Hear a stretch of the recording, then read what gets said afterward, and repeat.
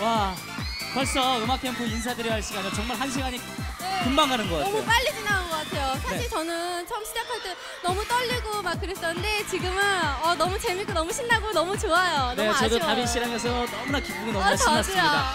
자, 첫 방송이라 미흡한 점도 많았지만요. 다음 주에는 진정한 다빈이와 성진이의 모습을 보여드리도록 하겠습니다. 기대해 주세요. 네. 다음 주 음악 캠프는요. 어, 이제 야외에서 영유 네버랜드에서 꽃 저희가 음악 파티를 엽니다.